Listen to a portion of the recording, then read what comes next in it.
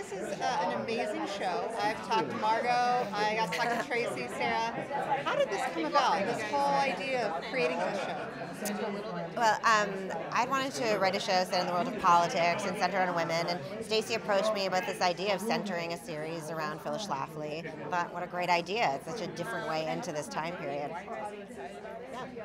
I, I, saw this amazing documentary, and um, you know, Phyllis basically lived as a feminist, but obviously didn't fought very hard to oppose the ERA, and it felt like the perfect um, subversive and also entertaining way to tell the story.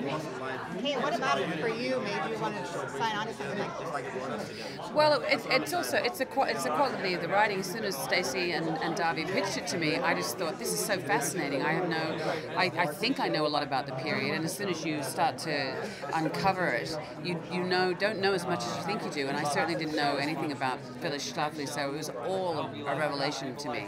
And just about how she really um, delivered Reagan into into the White House and how uh, in, um, influential she was as a grassroots organizer.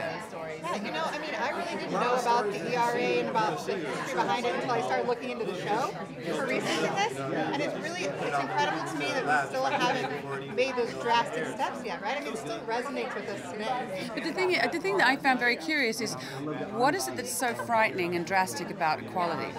That's I think that the series really does ask that. There's a lot of people who who find change and um, you know society evolving a, a, terrifying thing, and I think Phyllis was very much into the status quo, into into order, and the feminists were very much about challenging that. So it's a very very dynamic kind of basis for a for drama. Yeah, absolutely. This plays like a movie kind of right, this limited series, and the cast. I mean, I know. I mean, incredible right? Murderers Row of actors. And what's really exciting about this cast is when would you ever see Tracey Ullman and Cate Blanchett on the same stage in a scene together? So we get to see actors who have done such different types of work together in one series. That was one of the things I was the most excited. About. And also about. the men who are in the series too. Like a lot of a lot of my stuff, obviously, um, Phyllis was married to Fred. You know, working with John Slattery and James Marsden, it was it was fantastic, and their work is extraordinary. Because of course, when you talk about equality, yes, it's about it's a it's seen as being a women's issue, but it's also a men's issue. Absolutely. And they talked about how wonderful it was in Toronto, all of the women together in the same area, just like getting together and getting to know each other. I'm sure. Don't look at me like that. I'm going to cry. Know. I was always on set. She was always on set. She never had a break. never got to break. Never got to have I too.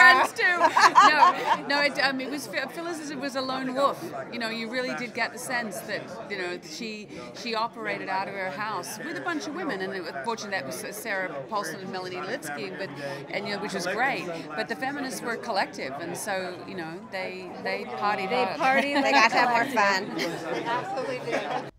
Thank you for watching. If you want more extra, hit the subscribe button and the bell so you'll never miss a video.